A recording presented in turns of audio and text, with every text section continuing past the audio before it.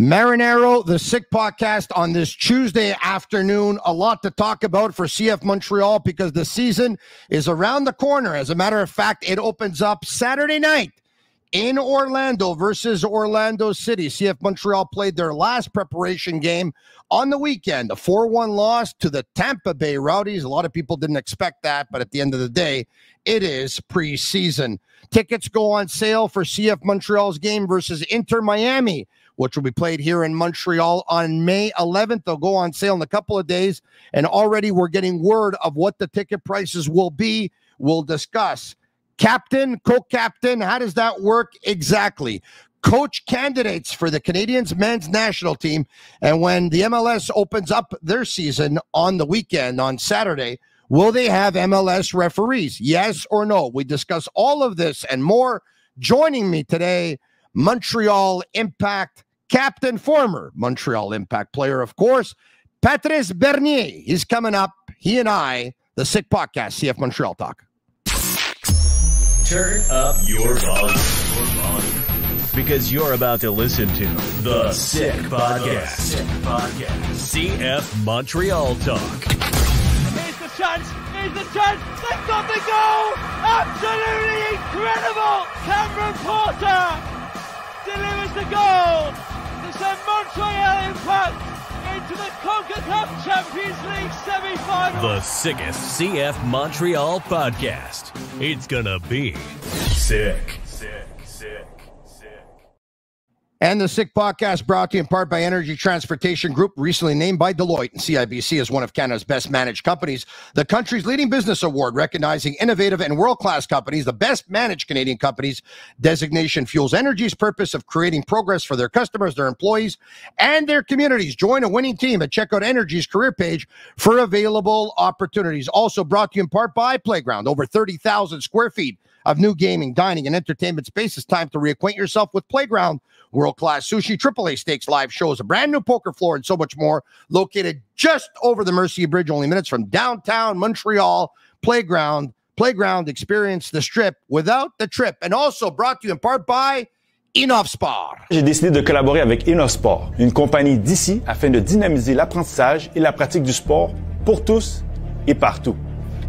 Les différents produits permettent de rester actif tout en développant sa confiance son autonomie et sa technique. Des produits efficaces, progressifs et personnalisés avec le logo de votre école. InnovSport, pour tous et partout.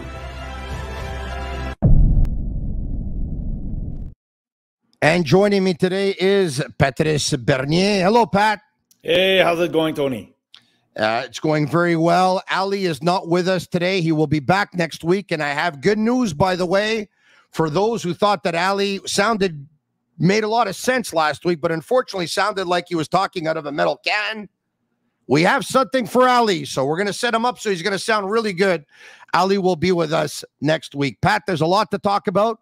Uh, let's start with unfortunately, there's not a lot of footage out there, but a 4 1 loss versus the Tampa Bay Rowdies. So I'll I'll start with this. A buddy of mine calls me a couple of days ago, says they lost to a USL team. Is this a joke? I said, it's preseason. I don't put much into it. He said, I do. The season starts in one week. Is he right or am I right or are we both right? As a guy who played, how much stock did you guys put into games versus an inferior opposition in the preseason? I would say eh, not too much stock. Like I would not be worried for the season, but I am worried a bit about the defense or certain things that are happening more often because it's not just the 4 1. They took 13 goals in four games. That's three goals a game. So now, from what I heard, the game was very muddy. It was raining. The conditions weren't great. Not that excuses, but those are things that we don't see. And it seems like a lot came from the same mistakes we saw against Atlanta. Back the back trying to make plays that necessarily they have to maybe uh, maybe naive decision making. Uh, so I think they have time to re to rectify that, but still it's saying that you still took four goals against a lower team. No matter if it was a lower team, you still took four goals, and you took. Let's not remember six two via. Uh, it's a if I'm Colorado, so worrisome for the season. No, but still worried about certain things that they need to tweak because they're taking a lot of goals, and I don't think that's good for the mindset heading to the season. Pat, the back line the defenders that they have, are they good enough to play with a back three formation? Now, when I talk formation, yes, there's three center backs, but you know, you can say it's five because you got wing backs, all depending on what animation you give or don't give your team. But are how much confidence would you have in a three man center back of let's just say Sosa, Corbo, Waterman? I'd be confident. Uh, the only thing is, like we saw the, the, the game in Atlanta. At least most people that got to see it from the YouTube, uh, they're gonna play seems like very high line. So now, are we fast enough in Montreal for certain of these aspects of these teams that have pacey forwards or wingers or even wingbacks? That's the question. And two, let's not forget, Rudy Camacho was the main guy at the back the last few years. Now Waterman will have a full season of being the boss. And how will he manage that with the ball and that back line? So it'll be interesting to see how they press the ball as a defensive unit and how do they manage depth. Because if I look like we only saw glimpses and images of the Colorado game, but it seemed like it was either mistakes from the back or balls being played in behind and guys going on goal almost freely. So I'm confident that they can work it out, but they're really gonna Waterman and those guys are really gonna have to talk to really read the play really well. Because if they're gonna yeah. play a bit more like Wilfried Nancy, meaning having the ball and going forward about more, that means there's gonna be space in the back, and they're really gonna have to work at that. Uh, and if Campbell is usually the fastest guy on that team, is not a starter, how are they going to adjust to uh, the pace that some of these guys have up front in MLS? So I like Sosa a lot, but we saw in preseason speed is a challenge for him when it's coming at him. Waterman got beat last year often with a lot of balls over the top. And I think if they play high line, they're not fast enough to play high line. And I don't think they're experienced enough to play high line. Waterman is a good center back. He's not the best center back in the league. And he's a downgrade, with all due respect to him, to Rudy Camacho, who had a lot of experience. Sosa comes in, he's brand new. There's going to be chemistry issues there. There's going to be communication, you would think. He and Corbo will communicate well. I mean, they both, you know, came out of Italy. That's fine. You have wing backs who are brand new. Ruan will be one. Uh, Edwards will be the other. They're going to come into a new system. Yeah, when the other ones are probably playing okay. I don't think they can play high line. Yeah, it's like you just mentioned. You know how many players are new? Like if you take there's Corbo Waterman, but then after that, yeah.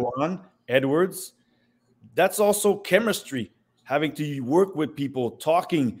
And Waterman, as much as uh, he mentioned he preferred playing on the right out of three, but the, they saw, felt they were comfortable having him in the middle of the three. I saw Corbo when he came, when he arrived. He was in the middle of the three. That's one guy I would have been interested to see being in the middle of those three because I feel he reads the game quite well.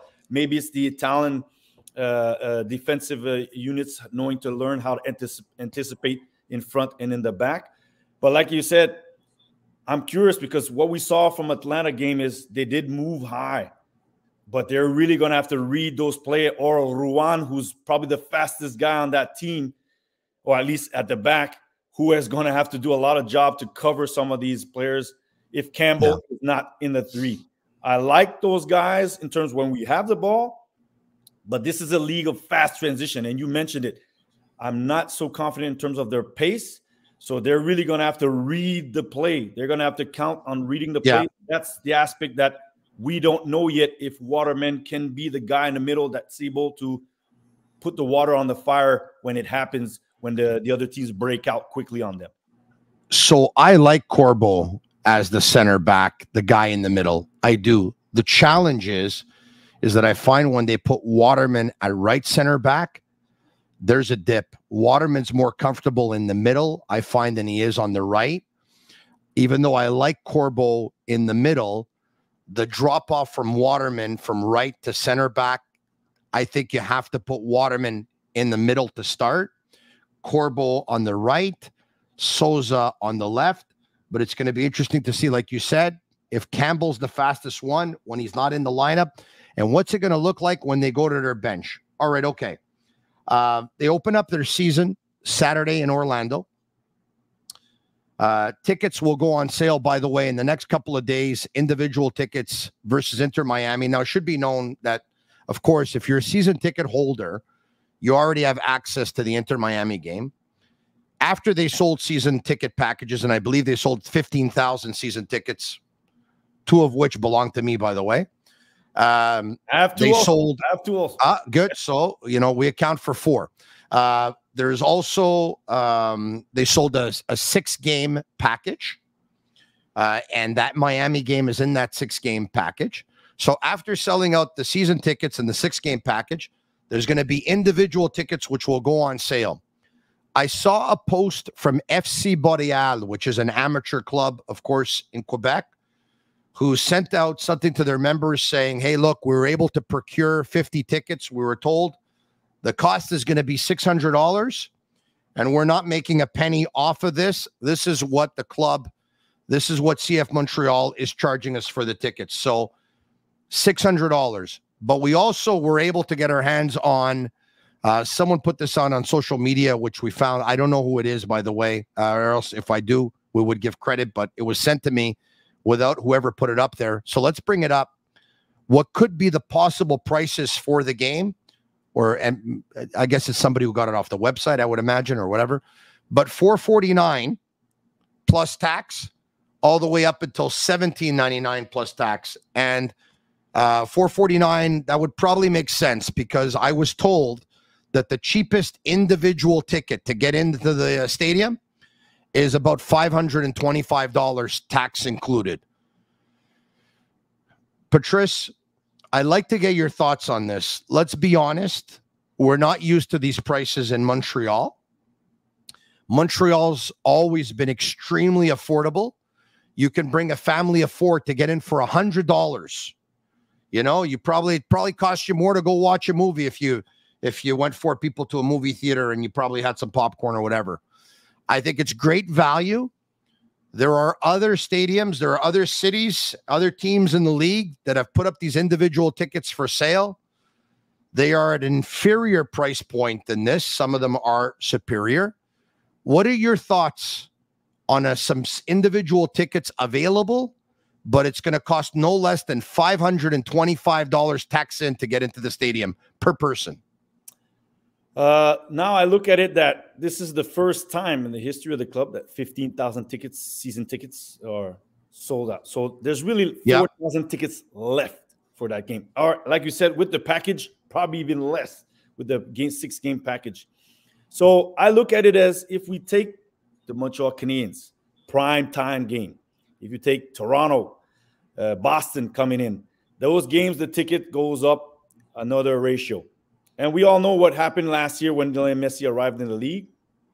So that game will be priced, or the prices for that ticket game will be a bit higher than what you're accustomed to, because there's not there's a rarity factor, and the factor that most other clubs probably have uh, even more room. Like if you take Toronto, they have 17 or 16,000 tickets, but they have a 30,000 seat, seater. So there's 30, 13,000 tickets that you can play with. So it is expensive. It's what I expected a bit for just one game because we saw what happened last year. Uh, and you know that now, if you didn't take your season ticket, that's what most people did to try to get it to a fair bargain price, if you could say. You're going to be stuck with coming to that game and paying full price. I remember, Tony, weren't you the one who put some tickets for Red Bulls last year? Yeah. And, and then when Messi's the Messi arrived, those tickets went boom, they skyrocketed. So this is going to be a factor that there's not that many left, and uh, we'll see once that game arrives because things could change. If you're hearing that Messi might not come, those prices might go down. I think it's still fluctuating. It's not a set price from what I've heard uh, internally from the club. I bought the tickets center half, fourth row, $96 US.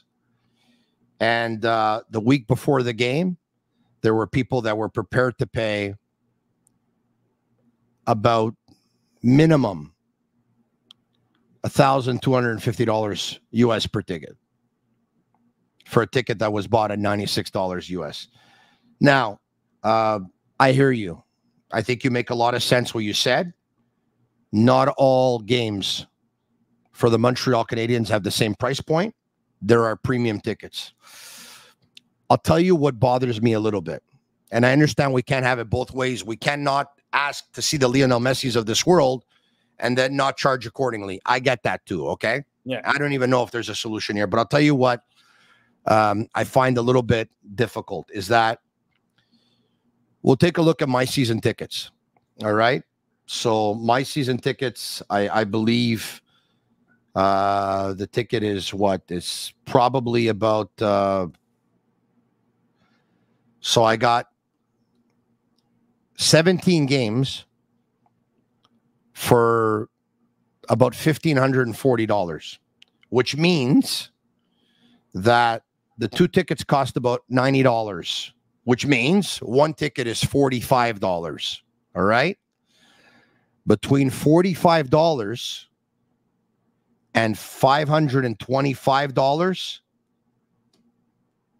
that's a that's a- huge jump. That's a that's a That's huge jump. not I'm going to tell you more one, than one that's more that I- than two times. That's more than three. That's more than 10 times. That's more than 12 times. What is it? It's more than 13. It's just over 13 times. That's a, a, a skyrocket price. Now, I'm going to say something. This is a North American thing because if you go look at tickets anywhere else in the world for, and I'm talking about prime clubs that have pristine players, Man City, Yeah. PSG, Bayern Munich. I even went to see uh, Barcelona semifinal Copa del Rey in Camp Nou, 65 euros.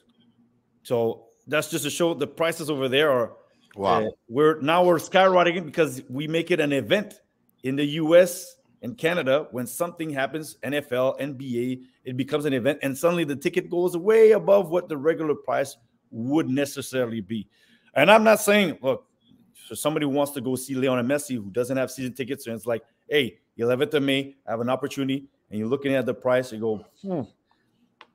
But the reality is, some people are still going to want to pay that because the Yeah, I- I hear you. They're going to seize it. So it's, Now- I, I just did the math, by the way. I think it's so it's a, it's over 11 and a half times the amount that I paid for mine. So this is what I tell you. This is what I tell you in the end. Buy season tickets next year. This is great value. I didn't buy the best tickets. I didn't buy the worst.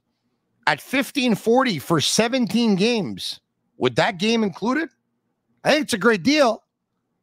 Even though I told my rep, you can't do lower, you can't do lower, you can't do lower. I still think it's a pretty good deal. I have to admit.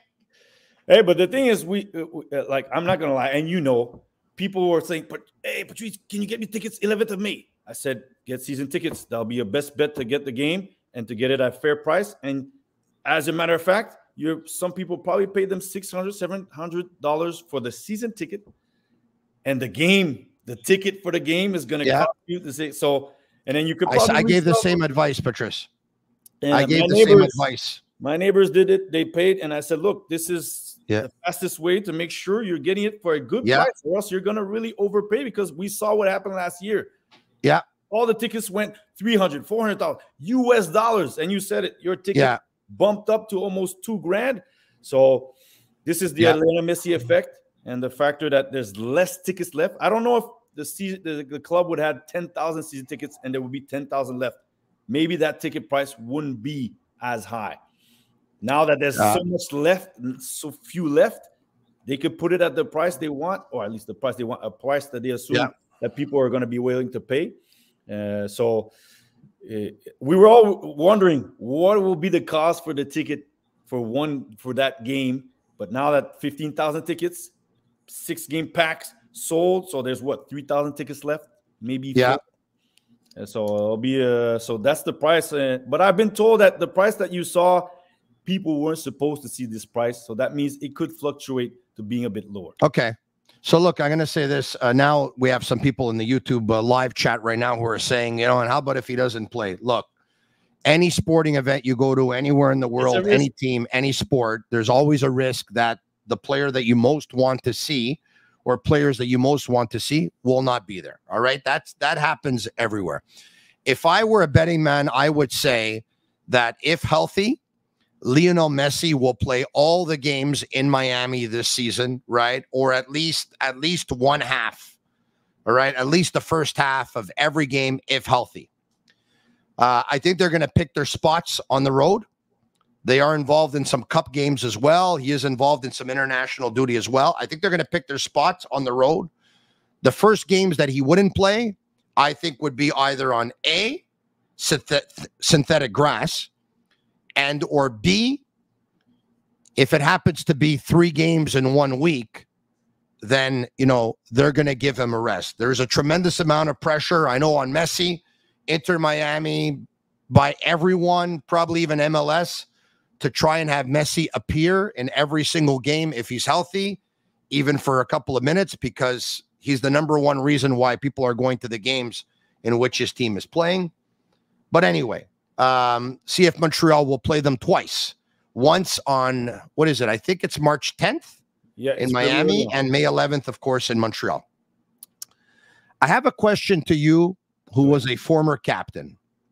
And let's bring up a picture here, if we can, of that Samuel Piette, CF Montreal captain on your left. That's Victor Wanyama, who was once upon a time the assistant captain to Samuel Piette.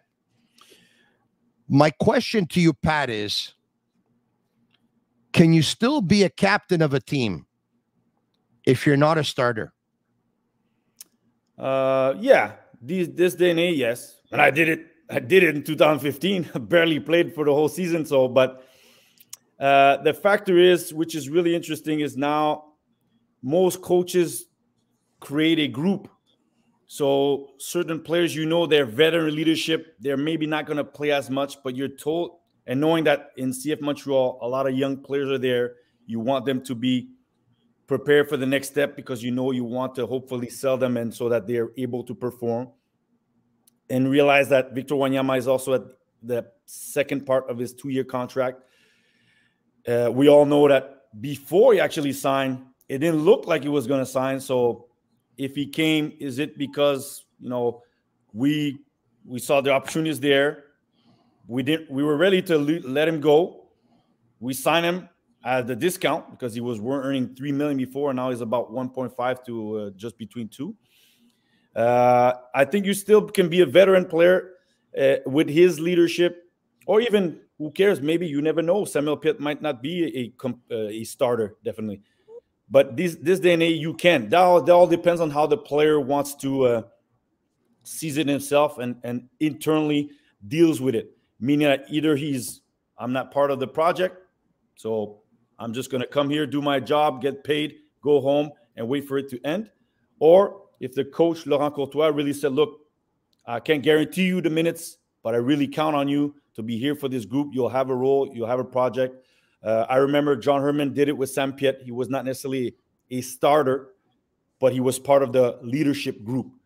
So you can still do it. Now it depends on how the player wants. I would see Victor Wanyama, if it happens to him, that he be able to uh, to manage it and to be the the person that he is, not the player. Yeah, that he is to be able to say, I want Nathan Saliba. I can give you some some uh, some counseling to be a better midfielder or all the other players that are around that team. Sunusi Ibrahim, I know he's very close with the, the players with African descent. So uh, it's possible, but it's not that easy. I can tell you that in 2018. So, oh, it was not hard. It was not that easy. I want to I, I want to play the, the process of elimination game. Go ahead. Uh, Matthew Choinière was excellent for this team one year ago, scoring five goals. And he was the jack of all trades for the team. Um, in my opinion, he and Sirois, the two best players for CF Montreal last season, who this year comes into camp and says, I, I want to play in the midfield.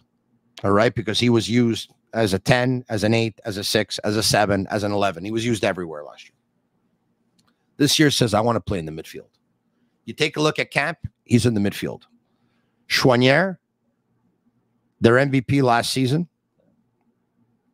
in the midfield, he has to play. He's got unbelievable cardio. Uh, he can run for three days nonstop. He's got a year more under his belt in the league. He's getting better. They need him. He's got to play. Saliba, last year, did not produce, but he played three quarters of the games. They got his feet wet, yeah. and then they did more than that, and they brought him back down a little bit, and then boom, it was his. And we all know what happened. With Wanyama, I think Wanyama was benched 10 of the last 11 games, or didn't start 10 of the last 11 games under Losada. We know that Saliba was a good learning year for him last year. His value went up. And the intention, although it's not set in stone, would be the goal would probably be this guy plays every game or 90% of them, 80% of them.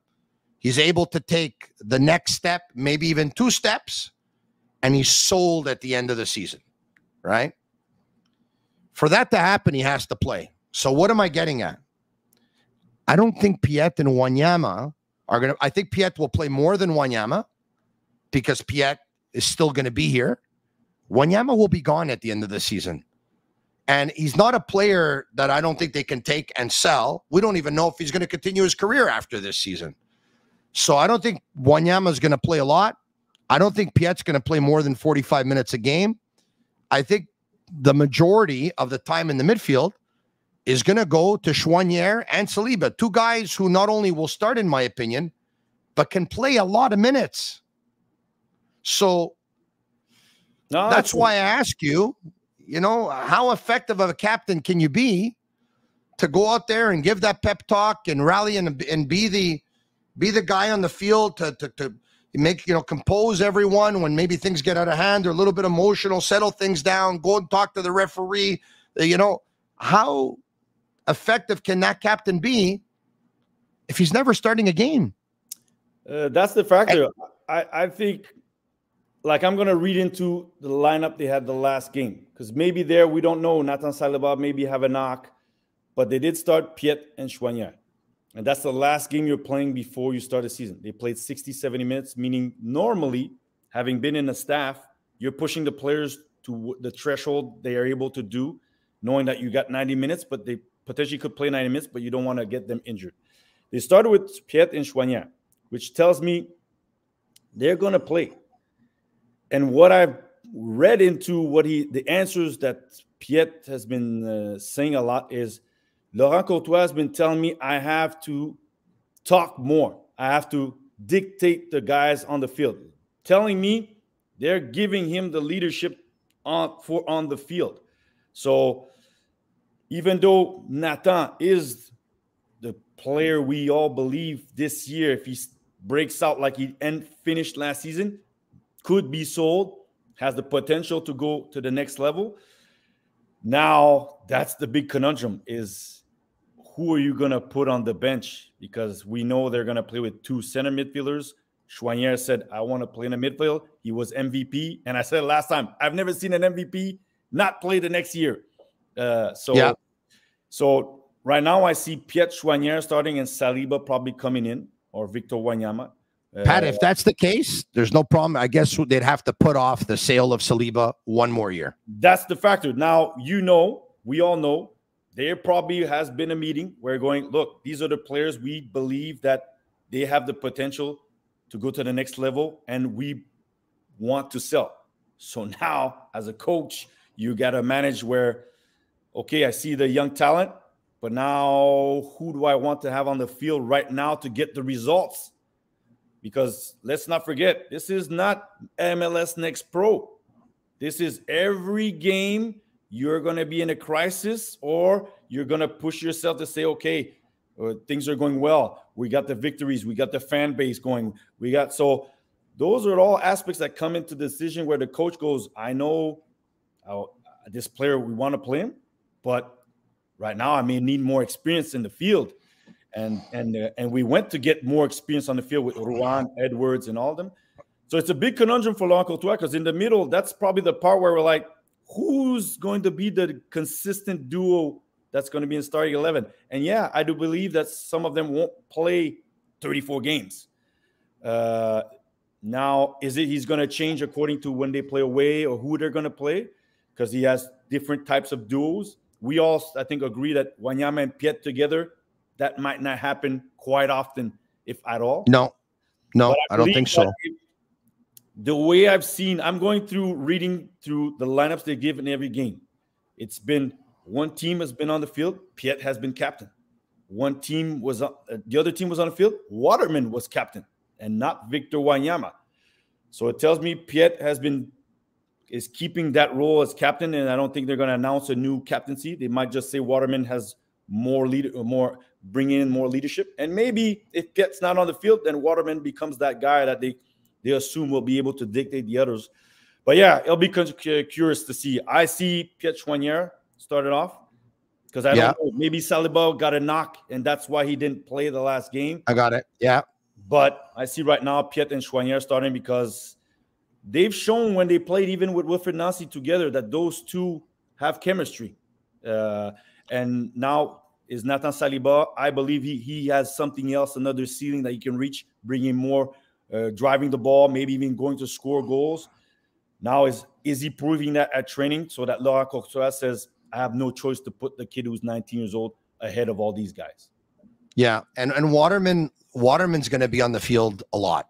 Yes, he's going to be on the field a lot, and you would think he's going to be here for a couple of years. Yeah, you would think. All right, okay. Um, moving on along. Uh, a lot of the, I don't know of any expert that has CF Montreal in the playoffs. This nope. is a team that missed uh, the playoffs one. last Frédéric year. Frédéric Law ninth. Okay. All right. Okay. But the rest uh, is. I, I, understand. He's he's been their play by play man since I can remember. I mean, if there's one person who's going to put them in, it's going to be him. Okay, um, but even at that, uh, he thinks they're going what? He's. They're going for a play in, or they're they're they're just getting oh, in. Play in. I think if I remember the predictions, he put them ninth, so last pl- playoff spot. Okay, so um, he's the only one that we know of out of members of the media that is documented that has them in the playoffs. They missed the playoffs last year, missed it on the final day of the season. Um, made the playoffs the year before with Wilfried Nancy. The year before, they just missed out. When they miss out, they're usually very close a lot of people seem to believe that this team is a better team this year than last year, has more depth. Yes, uh, have a uh, Coccaro, have a Opoku since the start of the season, have a Lassiter since the start of the season, have a Duke since the start of the season, have a Roberto Martinez, uh, have a pardon me, have a Josef Martinez, who can um, uh, can either you know come off the bench right now and be a super sub, and when he ends up getting hundred percent, end up being a starter and probably scoring with regularity the way he did before. It's another year under his belt, more experience for Jules Anthony Vilsaint, more experience for Nathan Saliba. Choinière looks like after a great season last year, he still might be ready to take another step. Uh, Ruan comes in at right wing back. Uh, Edwards comes in at left wing back. There's some depth there. Sirois got an extra year under his belt after standing on his head a year ago. Um, there's a new coach who prone the same system as the coach that used to be here a couple of years ago, who's now the coach. A lot of people think that this is a better team, but it's got a lot of new players. Yes. And it's going to take a while for chemistry to set in. So, knowing everything you know, Patrice Bernier, where are they going to finish? I put them 10th, finishing 10th. I looked at all the teams. I looked at the, because also people look at investment. Eh, new York City FC just bought an 18 year old kid for 8.6 million. Chicago bought a kid, got a player for 10 million. So people see, oh, they're investing more. So normally more money, higher quality player. That's what people see. I see it as just as you mentioned, several things. For one, let's not forget new coach. Two, this is not Losada starting with eight starters from the year before. This is Laurent Courtois with Ruan, there, maybe Sosa as a starter, Edwards as a starter, Yankov, Coccaro. So you have around four or five players that weren't starters in your group last year. So it's not the same team. This is not Wilfried Nancy's team. And then Laurent Courtois just revamping them from one year of losing their identity. This is a new constructed team that the club acquired some quality players. So on paper, they're very strong. But Courtois has to, as you mentioned, getting that chemistry, connecting to the way he wants to play. From what we saw the Atlanta game, the goalies are going to be a bit more adventurous, taking those risks and willing to take those risks and identifying. So you're back at Wilfried Nancy year one, where the ideas are put in place, but the players are gelling. And even I wouldn't say Wilfried Nancy year one because Wilfried Nancy was in the staff in 2020. So most of the players that were there knew him. The ideas were a bit similar to Thierry Henry. Now Laurent Courtois is coming in, new faces. And then after that, you have to look at it. You're starting six games on the road. I now, was just looking at the schedule. I was just looking at that. That's that's that's the thing that see if they didn't start with six games on the road, Pat, and they would play would road different. home, road home, road home, their place in the standings could be different. Yeah, because remember last year, seven games, one win. What was the one win? At home. The other seven, six games away, they were losses. So versus Philly, and by the way, they were losing two one in stoppage time. Remember that? Yeah, they came back 3-2, 95th minute. Uh, Kyoto and uh, and 04. Yeah. I think, uh, so you're starting six games on the road. It's like you're starting where you hopefully they get the results because hey, they're going to Orlando, Dallas, Miami. Then you go DC, Chicago, and Seattle. Those four, four of those six places are very hard for any team in the league to go and win points. And then after that, you come back home and you're going to play Columbus, Miami, uh, Cincinnati. So that's not easy in terms of collecting points. And last year, they did a great job having the second best wins total in uh, Montreal history at home 10.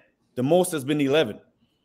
Can they repeat the home home uh, uh, home games winning? And then most likely they're probably going to get more wins on the road. So I was looking at they might get 43 to 44 points better than last year.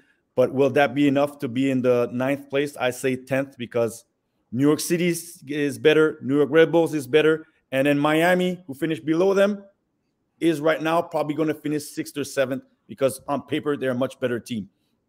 And the time this team gels, I don't know if uh, with the six games on the road, that's what really I can't say bothers me, tells me that that's a difficult mountain to to to to climb back from. Hopefully, they get a win or two there and get more points than last year, so that they're not in the doghouse too early. Because you want to be in that conversation of the playoffs right from the bat, so that you're not always looking how many points do we need to go into the playoffs. You want really to be in that conversation. But I put them tenth because there's so many things that are constructed this year, and uh, I'm I'm optimistic of what Laurent Courtois can do but I mean, there's a lot of pieces that need to gel, and then you need to get the results. Um, what can you tell us about the MLS referees? Uh, Pro will lock out the MLS officials after the PRSA membership voted to reject their leadership's tentative agreement over a new CBA via a 95.8% no. That means, Tom Bogert tells us of The Athletic, the 2024 MLS season will almost definitely start with replacement referees. Um, surely uh, this is uh, not music to Don Garber's ears. No, in a league where you see Lionel Messi effect, more teams. This is probably the transfer window in 2024 where the most money has been spent. Yet we can't find an agreement with the pro referees. And let's be honest, everybody complains about the MLS referees. Now you're gonna get referees from college, from inferior leagues. So, and are they going to be ready to come into a league that has taken a step in the last few years in terms of the speed of play, uh, the intensity, the identity of styles of play? So, hopefully, they find an agreement because I don't think it's it's not good for the image of the league, and I don't think it's good for the quality of the league. First and foremost, you spend on the players, you spend on the coaches, and you're going to have to spend on the referees if you want to go what you say, which is being a top tier league in the world. So you need to get those referees back on the field and uh, and compensate them uh, properly as you as the rest of the league is doing for the rest the franchises, the players, the coaches, uh, and everything that goes uh, around MLS these days. So hopefully, I think Saturday they'll be replacing refs, but hopefully they find an agreement faster and quicker.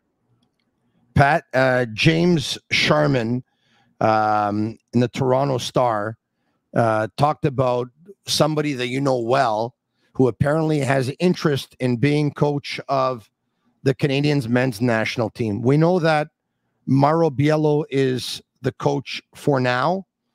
Uh, after John Herdman left, he took over on an interim basis. Unfortunately, he didn't get the result in his last game versus Jamaica. Uh, he's been given the vote of confidence to try and lead them for their next game uh, next month. Uh, but after that, all bets are off, and we're going to see. But there's whispers that some names are starting to come out. There are some who have shown interest. There are some that appear to be interesting. And uh, look, we know it's the biggest tournament our country has ever had, um, coming in just over two years from now. So, the one guy you know well, who is James uh, Sharman talking about? Let's bring him up. Thierry Henry. His managerial experience Arsenal Youth, 2015 to 2016.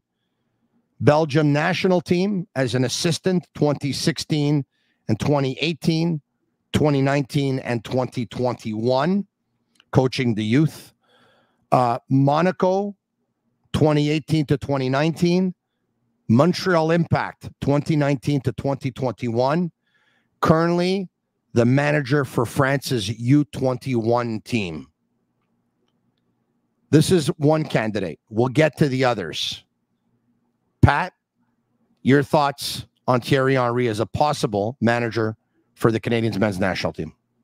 Is it possible? I think yes. When I saw it, I said, wait, he's coaching the U21 team going to the Olympics. So he wouldn't be coming right now uh, you're going to if you qualify in March, you will be going to Copa America. You want your coach in place quicker, sooner than later. So even if there's, I've heard that actually there is interest, but everybody would say, and the next candidate I think is uh, Hervé Renard, it would be for after the Olympics. But I think you're losing time with not confirming the coach. Either Mauro Biello sticks on as he uh, qualifies the team for Copa America, or you announce the coach so that if you make it to Copa America, he has a camp, he can prepare the team, and going already to a prestigious tournament, facing I think they'll be in a group uh, in Argentina if they uh, qualify. So Thierry Henry, I saw it. I go like, okay, I understand Thierry wants to coach a, a first team, but he's coaching the under 21 national team. And if he does well at the Olympics, most likely other opportunities will arise. So uh, I I know he, he, does he does have World Cup experience. I yes, you know exactly. Uh, I know assistant to Roberto Martinez, of course, of Belgium at the World Cup. He does have it. The one thing I found about Thierry and Pat, I know you're close to him, and I could be wrong. It's, it's my interpretation from the outside. I find that Thierry never fully transitioned from player to coach. I felt that he coached with the mentality of a player a lot. We saw images in the past when he was here of getting very upset when players weren't doing things that for him would be elementary, but for them would probably be difficult. But for him, he could do it with his eyes closed. All right.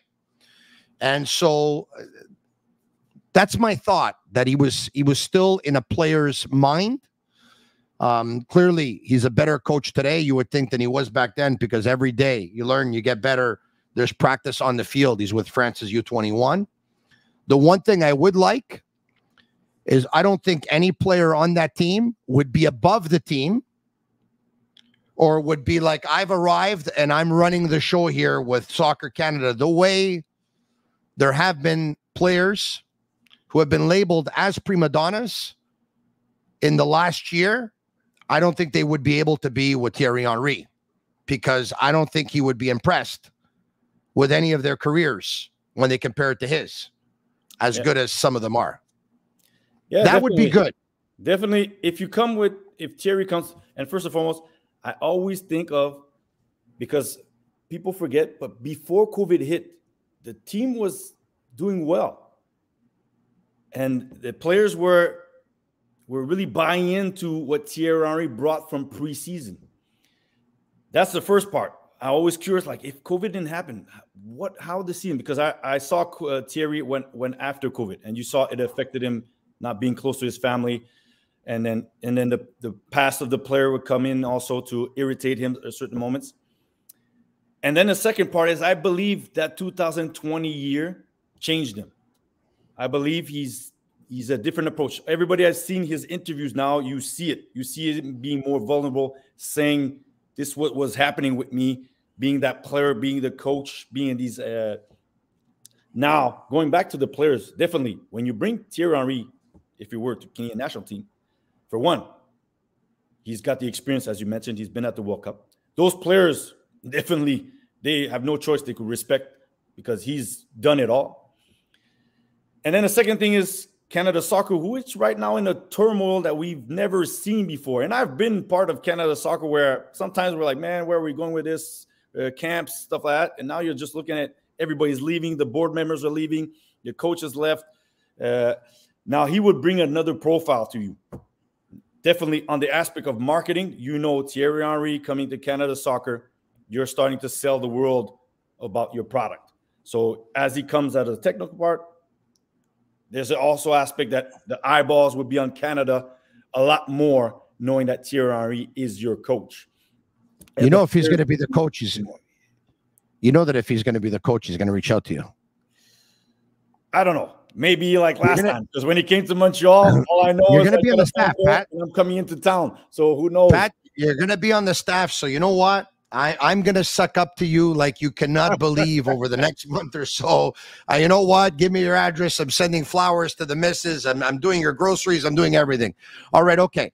Uh, well, we know that coaches like to surround themselves with people that they know and that they trust and that they believe will be loyal to them. And we also know Thierry Henry was very fond of you, Pat. Uh, he, he said once upon a time that, uh, correct me if I'm wrong, I believe he talked about just how very good of a player he thought that you were. Uh, and um, and uh, he really appreciated you as a player and a person. All right, you mentioned the name Hervé Renard. Let's bring him up. Hervé Renard. That's a very extensive managerial career. Um, what's impressive is you're going to notice there's a lot of national teams there. Hmm. Zambia national team, Angola national team, Ivory Coast, Morocco, Saudi Arabia, currently coaching France's women's team, but at last World Cup, once again coached Saudi Arabia and not only coached them in the opening match for his team, they beat Lionel Messi's Argentina Yeah, we which is the that. only loss that Argentina had at the World Cup because, of course, they went on to win the World Cup. Here's a guy, Pat. His CV is impressive. He's got a ton of experience. He's got a ton of experience with national teams. Um, he's obviously he can address the nation in English and in French. He has a ton of personality. He's got a ton of fire. You would think that he would be running the show as well, and it wouldn't be a player. Uh, he's got he, he, he- he's got an iron fist, but at the same time, you know, the first two candidates that we talked about, Thierry Henry, Hervé Renard, the federation is going to need at least, and I don't know. I haven't talked to either of them, so I don't know. But can you get either of these guys signed for less than, at the very, very, very, very least, 1.5? Uh, from what I know, Hervé Renard was has been approached, but he's way too costly. So, and it would be for after the Olympics. And I believe Cote d'Ivoire just tried to get him, but France said no. So Yeah, they uh, block. but I, I would, I would, I would think he's probably asking, boom, you know, saying, uh, between two and two and a half. but I don't know how much he would want the job or not want the job. But like, you know, I gave 1.5 as the bare minimum, but Yeah. I would imagine that any of these coaches are asking for at least two, at Uh, least two million. Thierry's in Thierry's uh, possibility. I think he would be more interesting in the opportunity than amount of money that that uh, like I think he would be willing to come for a reduced salary for the opportunity to coach because he he just loves coaching and he wants to get that head coaching job.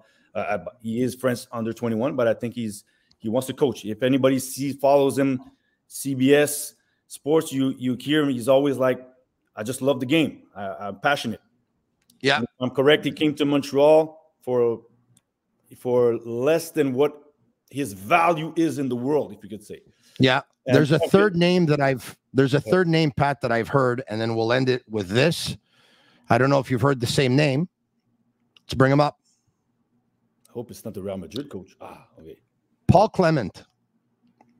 Paul Clement um, is a former assistant to Carlo Ancelotti with uh, Real Madrid, with Chelsea. Uh, you have um, Bayern on his CV, uh, PSG.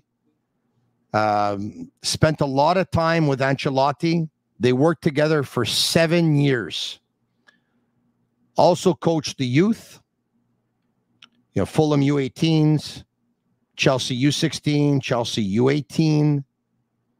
Um, most recently with Everton, has coached Swansea City, Reading, Cercle Bruges. Um, it's it's a pretty impressive CV. He's gone on record as saying, and I read this somewhere, that he'd love to have the opportunity, if it's there, to coach a national team. There's an opportunity there, possibly, with Canada. Um, a lesser profile name than Thierry Henry and Hervé Renard. But um, when you coach with Ancelotti for seven years, I would imagine you picked up a thing or two along the way. Yeah, I think you mentioned that the CV is important. Uh, I, I won't say that the players at first and foremost are like they just want to know who would who will be the coach, but at the end of the day, when they you hear like, oh, where he where's he been, who's he worked with? Ah, okay, he's because let's not forget Canada is playing with Alfonso Davies, who is at Bayern Munich. Jonathan David is at Lille. Steven Bayern Munich for now. Porto By- now. Bayern, Bayern. Bayern Munich for Bayern Munich for And now. You're going to to wait. Real Madrid from what the Well, rumors are saying. So you can bet the house. He's going to Real Madrid. Bet the house. So now also the profiling of coaches, like, okay, do they deal with these types of egos and personalities? Because people may say, yeah, Alfonso, yes. At the end of it, I know Alfonso. I knew him at 17, but now he's now Alfonso Davies, a world worldwide uh, popular player and uh, and star. And so now you're working with somebody who has a different dimension. And, uh, and Yeah. sometimes you need the coaches that are saying, hey, how to approach these types of players. And I'm not saying I know Mauro Biello is very uh, good at relations with the players. I'm just saying if a coach who's coming in, what players we would be uh, thinking of of somebody from a, a name coming out. of. So different CV and Hey. probably costing less. That's for sure. Uh, because Canada soccer's situation is you can't they cannot go and out and spend so uh, uh, a lot. That's where Hervé Renard I can't say Yeah. couldn't be taken because he cost too much. So Yeah, and listen, of course, uh, we all wish Mauro well. Uh, the job is his for now. That goes without saying that we want to see him succeed. But uh, here we are, we're in the news and we're tackling names that are out there, uh, names that have been whispered, names that have shown interest. Um, and so we'll see what happens. But uh, Mauro's got a real nice opportunity ahead of him, and we'll see what happens there.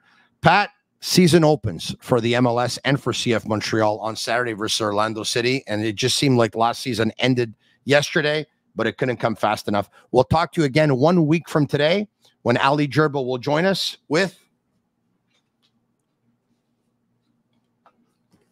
a microphone a brand new mic. and a tripod good stuff. Good stuff. Yeah. and a light. That's on me, Ali. You better be worth it. Until then, we'll talk to you again. I'll be back, by the way, in a couple of days with Nilton George. He'll join me. We'll do it on Thursday, same time, same place at 1 p.m. The Sick Podcast, CF Montreal Talk. Subscribe to our Twitter channel at SickPod, CFMTL, and our Instagram at SickPod, CFMTL, the same thing. And most importantly, subscribe to our YouTube channel. It's absolutely free. Merci beaucoup, Pat. We'll talk to you again next week. Merci beaucoup. Merci à tout le monde. Thank you. I'm Marinaro. Have a great day. Cheers. And that's a wrap. Hope you don't miss us too much until next time. Follow the Sick Podcast, CF Montreal Talk on YouTube, Instagram, Facebook, Google Play, and Apple Podcasts.